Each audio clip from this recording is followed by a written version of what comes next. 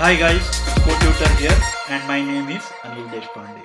Before proceeding, let's have a look at how we ended the previous video on the discussion of Android app architecture. Now comes the view. Well, what are the responsibilities that you can think of in our application that view needs to manage? One is initialize the UI elements. It needs to show all the to-dos when the application launches for the first time and then it needs to update the view on addition of the new to-do. In the same way, whenever we do remove, modify, we need to update the UI and if there are any errors we need to show the appropriate errors on the screen. You need to bind the data to the different UI elements. It's very easy to say that these are the view's responsibilities but our view is not a normal view. At the end of the day our view is getting rendered in an activity. The main challenges that you will see here are how to separate the layout inflation from the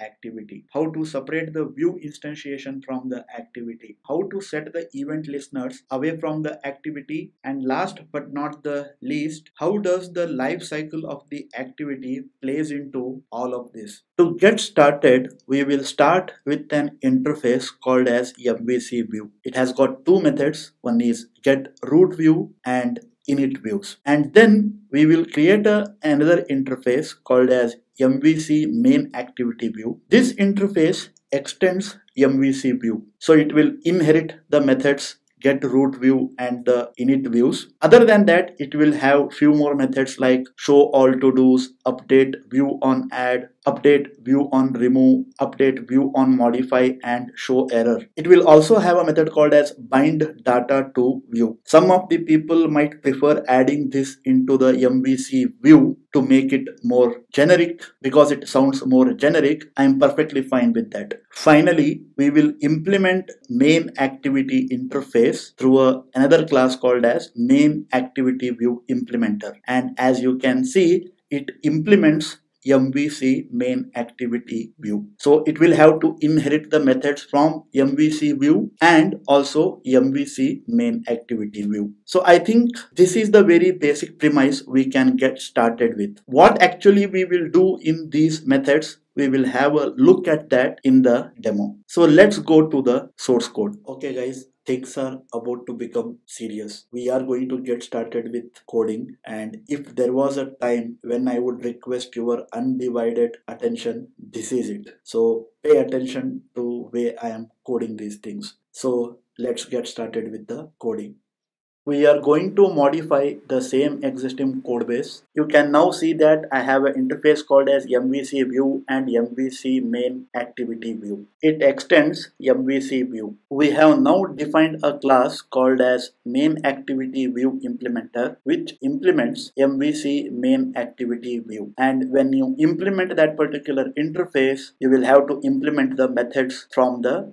interface let me make it easy for myself using the implement methods option provided in the IDE. So now it is time to create few instance variables in the class. So we'll get started with the very basic stuff. We will create a view and call it as a root view. This root view will hold the reference to the layout file. And after this, it is time to create a controller. So we have an instance of MVC controller and then after this we will also create an instance of MVC model. So we have a MVC model implementer instance which will act as model. After this, it is now time to create few instances of edit text text views and buttons this is something that you would have done even in the declaration of a normal activity and i am just doing the same thing here after this I will now create the constructor for main activity view implementer and this particular constructor will take two arguments. First argument would be context and the second argument would be the view group. Some people do not prefer passing the view group because context is more than sufficient to get your work done. Now let's initialize the root view. To do that we will use the layout inflator dot from method pass the context and then we will use inflate method. And to this particular method we will have to pass the layout file representing activity. And in this case it is r dot layout dot main activity and we will just pass the second argument which is the view group. Let's initialize the MVC model now. That is pretty straightforward. You have to just create new instance of MVC model implementer and it takes a to-do list DB adapter as the argument which I can get it from my application dot get to do list db adapter method. After that, I will have to instantiate MVC controller. Once again, that is also pretty straightforward. I will have to just invoke new MVC controller and then pass the MVC model and second is the MVC view. In this case, it is the current class and that is why I am passing this. After this, we need to initialize all the UI widgets. What do I mean by that is edit text, buttons and text views.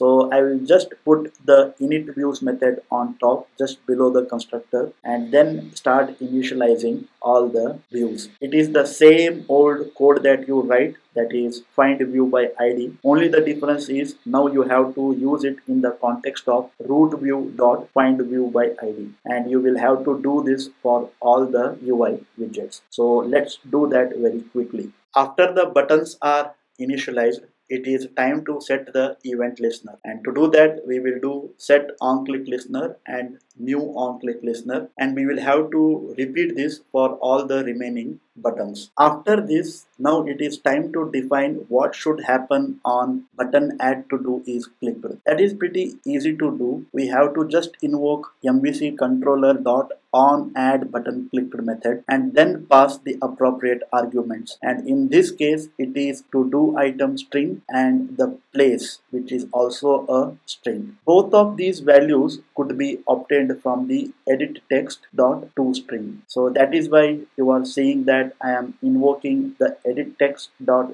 get text dot to string and passing them as the arguments to the on add button clicked method. Let's now see what does on add button clicked method of MVC controller contains. If you click on that particular method, you will see that it is invoking update view on add and right now there is nothing defined there so it is time to implement that particular method which is part of MVC activity view implementer. Well, what should happen in this particular method? We basically need to show all the values that are present in the to-do list. That can be shown using show all to-dos method that we have already defined in this particular interface. And then another part is we need to clear the edit text. I don't have the method for that. So let me write that particular method. It will be a private method. What this particular method will basically do is it will clear all the edit text that are visible on the layout file.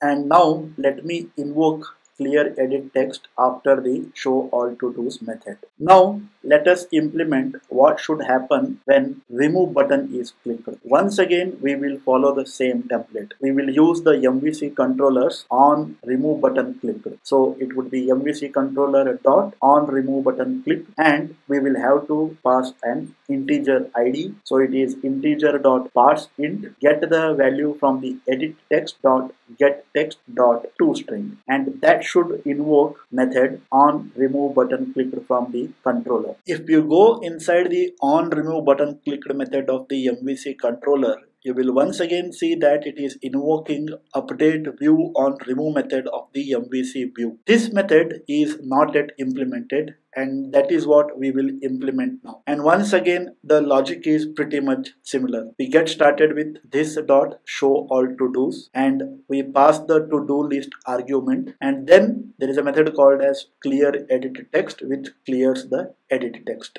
After this, the only method that is left to implement is what should happen on click of modify button. Once again, we use the MVC controller dot on modify button clicked. And once again you have to pass the id and the string value. I will parse them appropriately from the relevant edit text on the layout file. Once this is done, let's see what is written inside the on modify button clicked method. You will observe that once again we are invoking update view on modify method of the view. So let's have a look at that method of the view as expected it is empty now so let's implement it so it once again gets started with this dot show all to do's pass the to do list and also clear the edit text with this we are done with most of the implementation except the implementation of show all to do's method. So let's go to that particular method and in that particular method we will have to initialize the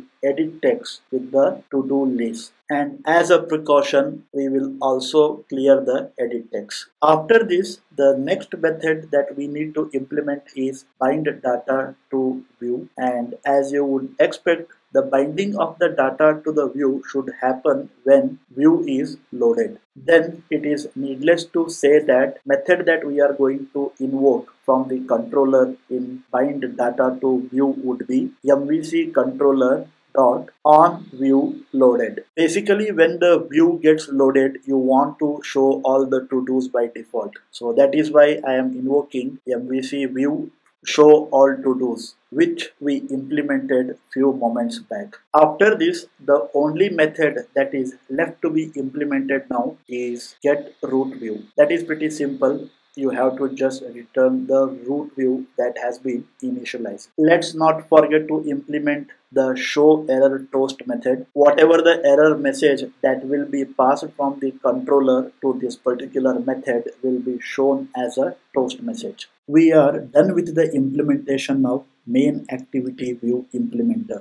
But this still doesn't answer our question with respect to how these methods are going to be used in the activity. If you recall, our activity has got lifecycle methods like on create and on resume. The basic question is how the methods of the main activity view implementer can be used in conjunction with these lifecycle methods. We have not yet addressed this part of our question. We shall do that in the next video. That brings us to the end of this particular video. Don't forget to like, comment, share the video and subscribe to the channel. Take care. Bye.